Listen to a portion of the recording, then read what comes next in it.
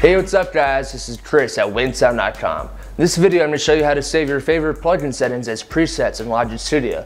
And remember, you can always get a hold of me with any questions, comments, or ideas at chris at winksound.com. Okay, so saving the settings you have within a specific plugin as a preset is really quite easy. It takes almost no time. It can really help you a lot down the line. Okay, so the way that you do this is you need to open up the plugin window that you want to save the preset in. Go to the default column, select that arrow, scroll down to save settings as. Now name name it what you would like. I'm gonna name it ultra compression.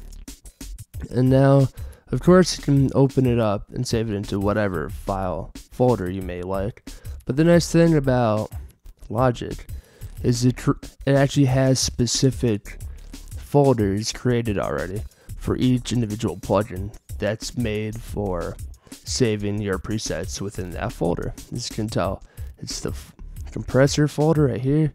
I already have one other preset saved for this plugin, and it just saves all all the presets for each individual plugin for itself specifically.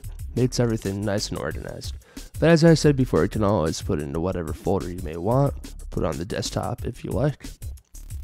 So once you have that all figured out, click save. Alright, I'm just to close this plugin. Open up a new compressor.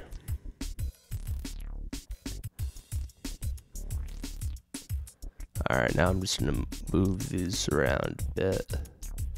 It's pretty drastically, so it'll be clear.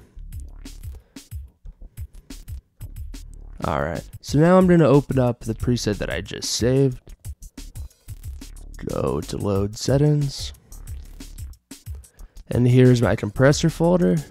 Alright, this was the one I had before.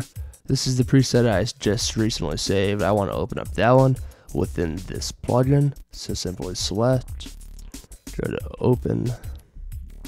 As you can see, is now all the same settings that I had just recently saved. You can always get in touch with Chris at winksound.com and make sure to check out more of his videos, including these titles featuring Logic, now available on demand at winksound.com.